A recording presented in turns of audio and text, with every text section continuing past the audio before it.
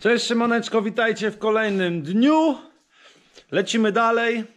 E, pewnie jesteście ciekawi o co chodzi z tym ostrym, co z tymi hamulcami. E, ogólnie to e, dzięki, że was jest tyle. E, za te odzewy pod ostatnim filmem. Fajnie. Cieszę się, kanał rośnie. E, bardzo doceniam.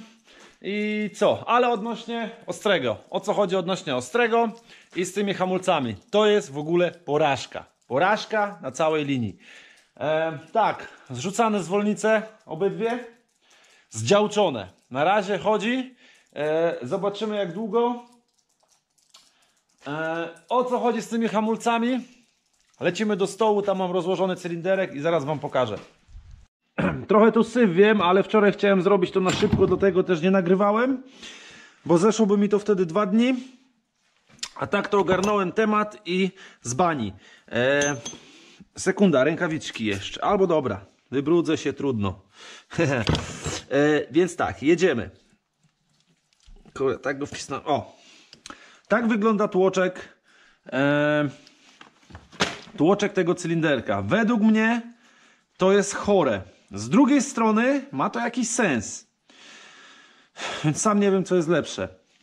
To jest tłoczek. Tu mamy gumkę, która uszczelnia nam, kiedy tłoczek wychodzi z cylinderka, tak? Ta tuleja natomiast, którą kręcę teraz, jest wbijana na ciasno. Ją trzeba zabić młotkiem, bo inaczej nie wejdzie. Ten luz, który tu widzicie, tu o, jest, ma tylko 2 mm. Tak miał na nowych i tak ma na tych starych, bo to są te stare, które wyciągnąłem. Więc tak naprawdę tłoczek wychodzi tylko po 2 mm z każdej strony. W żadnym samochodzie czegoś takiego nie widziałem. Tłoczki się przesuwają całe. Dla mnie jest to chore, bo. A i teraz o co chodzi, e, dlaczego to się zacinało? Już wam mówię. W życiu bym nie powiedział, że to trzeba tak zrobić. Nie wiem, gdzie jest drugi tłoczek. Gdzieś go wybiłem i uciekł. Czemu to nie hamowało? Bo jeżeli są nowe tłoczki kupione, zazwyczaj są e, równo z tą ścianką wysunięte. Wszystkie są powysuwane. I wtedy nie dacie rady złożyć hamulców, bo nie da się e, nałożyć bębnów na szczęki. Bo są tak jakby za dużo rozepchane i trzeba je wcisnąć. I o tym wiedziałem, bo gdzieś to wyczytałem i ktoś to mówił na filmie. Ale nikt nie powiedział, że te tłoczki muszą być ściśnięte mniej więcej równo. Nie mogą, że być jeden mniej, a drugi więcej. Bo ten, który jest mniej ściśnięty, tak, dobrze mówię, tak. E, ten, który jest mniej ściśnięty, będzie zacinał o okładzinę, a ten, który jest mniej, yy, który jest więcej wciśnięty, nie będzie hamował. To jest jakieś chore. Chociaż teoretycznie też gdzieś wyczytałem, że ten pierścień tutaj to jest tak jakby regulacja. Ona, jeżeli się okładziny zetrą troszkę, to ona pod wpływem ciśnienia płynu powinna się przesunąć. Ale nie wiem, czy to masz taką siłę? Nie wiem, nie mam zielonego pojęcia. Tak czy inaczej, jak to składałem, jak coś źle mówię, to mnie poprawcie oczywiście. E, jak to składałem, to po prostu zrobiłem tak, że wypchnąłem oba cylinderki, zabiłem je od nowa po prostu, wyczyściłem te gumki, mimo że były nowe. E, I założyłem okładziny, wszystko w zwolnicy normalnie. I wtedy nałożyłem sobie bęben, i dobijałem delikatnie w szczękę, tak żeby tłoczek się zaczął chować. Po prostu. I e, do tego momentu go dobijałem, aż z jednej i z drugiej strony, oczywiście, żeby to było w miarę równo, żeby mi tylko wszedł bęben. Jak już wszedł, e, oczywiście tam, no nie aż tak luźno, z pewnym tam miał delikatne tarcia, zostawiłem. E, I tak złożyłem właśnie prawą i lewą stronę. I działa. E, działa, skąd wiem, że działa? No, wiem na takiej podstawie, że podnosiłem go na łapach, wrzuciłem mu piątkę i tak sobie chodził 10-15 minut. E, nic się nie działo. Bęben wiadomo, troszkę się zagrzał, próbowałem hamować i tak dalej. Wszystko gra. Jeden błąd, który tylko zrobiłem, to przy po- odpowietrzeniu hamulców nie założyłem sobie rureczki na odpowietrznik i cały ten płyn ściekł mi w dół. I wczoraj jak próbowałem tym jeździć, hamować, no niestety, na trawie hamuję na stop na oba koła, to tam nie ma problemu, ale na asfalcie nie. Jest tylko taki trrr przeskok, jakby. Więc e, jest nie teges, ale może są jeszcze w tym płynie, zobaczymy. Ostatnio jak go odpowietrzałem, to też tak robiłem, ale on stał wtedy dwa tygodnie.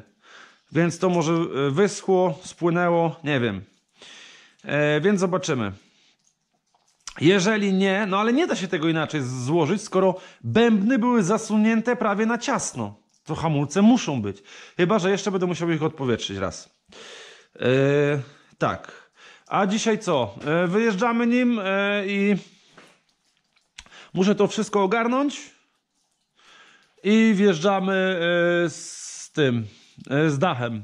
Tym najpierw te rurki, tam gdzie szyby są, nie rurki, tylko te, te to muszę wyczyścić i pomalować. Ciągniki wstanę wtedy na tamtej stronie. Zakładam sobie na górę i później dach. Malujemy dach i koła wtedy tylne. I, i prawie gotowe. Później, no, i- no, później zostaje tylko jeszcze maska i drzwi. Ostry ładnie się prezentuje na słoneczku. Da się biorę za budę, ale jeszcze muszę zrobić wana. Yy, ogarnąłem garaż trochę. Fajnie, co? Teraz jest fajnie. Posprzątane. Podłoga jeszcze do mycia, ale tu będzie szlifowane e, jeszcze, bo cały dach, koła i tak dalej. Więc nie myję. E, Tu trochę się zabrudziło olejem, ale to nic. Trochę pyłu pójdzie na to i to się wymiecie. I później się wtedy umyje. Wydmucha się to wszystko i się umyje. Dobra. E, muszę naprawić wana, bo zaraz wam pokażę co się stało. Co tu się stało? Zobaczmy. Trytytka na trytytce. Woźcie ze sobą trytytki, bez trytytek ani róż. O co tu chodzi? E, To są linki odbiegów oczywiście ze sprintera, które były wymieniane w grudniu. E, I co? Nie wiem czy tu widać, gdzie jest śrubokręt. Światełkiem przyświecę. O, tu jest ten zaczep, tu wchodzi linka od dołu e, z całym tym czpieniem i tu jest zaczep blokujący. I ten plastik po prostu odpadł. A widzicie, tu jest luźny, odpadł od tej reszty. Dlatego jest teraz ściągnięte na trytytkach, ale to muszę troszkę poprawić i zamówić linki. Linki były wymieniane w grudniu, no nowe. Fakt faktem. E, może sam jestem sobie winien, bo ściągnąłem jest, ale drogo oczywiście, bo w sklepie kosztowało 300 zł, a tam stówę. Więc sam jestem sobie winien, ale zobaczcie z jakiego gówna to jest zrobione, że tak powiem. Muszę to jakoś powzmacniać i na razie będę śmigał, muszę zamówić znowu. E, nie wiem, czy komplet, czy da się jedną linkę zamówić. Nie mam zielonego pojęcia. E, dobra, to ja to drutuję i później ustawię jeszcze biegi. Dobra, pany. Zdrutowane. Tam dołożyłem jeszcze dwie śrubki, widać. I zapiąłem opaskami, trytytkami i powinno trzymać. Na razie wszystko chodzi elegancko. Jakby ktoś nie wiedział jak ustawić biegi e, w sprinterze, to już mu mówię. Tylko kurde, źle mi jest. E, bo ja w sumie też nie wiedziałem. Tu jest takie coś, e, taki jakby skówka taka. E, w lewarku, tam w tej gałce na dole są dziurki i trzeba tą skówkę, e, trzeba tak lewarek ustawić, żeby tą skówkę wsunąć na, w te dziurki, wtedy blokujemy lewarek. Jak sobie zablokujemy lewarek, to wtedy idziemy na dół. Zresztą zajdę na dół, pokażę wam. O! I te linki wychodzą tutaj pod spodem. Em, nie wiem, czy ja to dobrze zapiąłem, y, czy tak było, nie pamiętam, czy zapiąłem tak jak było. Jedna ma kolor czarny, druga biały. Em, czarny to jest od wrzucania tak jakby biegów, czyli góra-dół, tak jakby 3-4, a biały to jest od pochylenia e, lewarka, czyli jak go przeginacie w prawo lub w lewo, na przykład, żeby wbić piątkę. E, tak to wygląda przynajmniej u mnie. I wtedy jak mamy zblokowany lewarek u góry, to sobie wtedy tutaj już e, regulujemy, żeby to ładnie naszło. Tylko, że co? Tu są takie kurwa luzy, że że to jest tragedia. Dlatego e, to, że wam biegi będą wchodzić e, na postoju, tak jak na luzie, tak? Na biegu jałowym, to nie znaczy, że podczas jazdy wam będą wchodzić, więc zawsze radzę się przejechać, e, bo później są kwiatki. I już to przerabiałem. Dobra, wychodzę z tego kanału i przejadę się, zobaczymy, czy działczy. Gwiazda działczy. Za czwartym razem dopiero udało mi się ustawić te biegi tak jak trzeba. E, Cztery razy wyjeżdżałem, ale już fajnie teraz chodzi, piątka chodzi. E, fajnie to hulo. Mam nadzieję, że trytytki wytrzymają na chwilę. Dobra, skręcam plastiki i biorę się za Malczana, bo tam też jest mała awaria. Mała albo duża. Zobaczymy. Wracam za chwilę. Pokażę wam, a co tam? Wszystko wam pokazuję, to i to wam pokażę. Tu się udupiło w Malczanie. E, ło. Tu jest takie e, było. To było jakby wtopione czy coś, nie wiem. Nie było to zanitowane. To jest taka obejma do tej rurki i ona e, trzyma tą sprzęgło, nie? Tą linkę sprzęgłową tędy idzie, nie? I to się oberwało i ona sobie chodziła jak chciała. E, no nic, miałem to nitować, ale stwierdziłem, że to nic zaraz puści, więc powarka je pospowami. Nie ma być. Zamaluję to zaraz farbą jakąś sprayową czarną i, i będzie bailando. Tak, Malczan śmiga. Ja pewnie wyglądam jak dzik, ale to nic. Eee, Malczan działa, pospawałem i działczy. Traktor stoi na zewnątrz, zaraz będę wjeżdżał. E, tyłem, to wam pokażę na kamerce. E, a ja co? A ja się wziąłem za górę. Tu już mam troszkę wyszlifowaną, wyspawaną.